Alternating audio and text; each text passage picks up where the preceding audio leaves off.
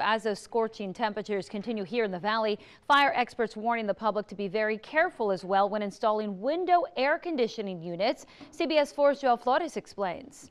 Right now, with the temperatures being at 100 degrees every single day, uh, people are going to want their air conditions to, to work at their uh, minimum, you know, to the maximum. The appliance many rely on to keep cool during triple digit temperatures could potentially be a fire risk. Jesus Martinez of Alamo learned the hard way Wednesday morning when the AC unit in his son's room turned into a fire. We just have one working outlet in the house. Since the AC unit didn't reach, we connected it to an extension cord. That was the mistake.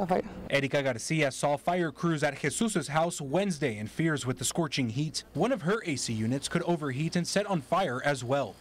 I prefer to buy new AC units, but we can't due to how expensive they are. That's why it's easier sometimes to get a used one, but we need to make sure it's running fine because they overheat, especially with this heat. A lot of the homes, I said, uh, have circuits. And a lot of people overload those circuits. And those circuits are pretty much being overloaded by the air conditioner alone.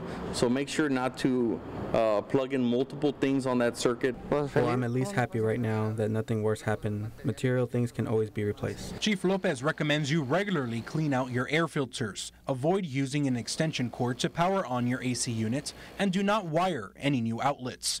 In Hidalgo County, Joel Flores, CBS 4 News and ValleyCentral.com. It's also recommended you turn off the window unit when you do leave the home for the day.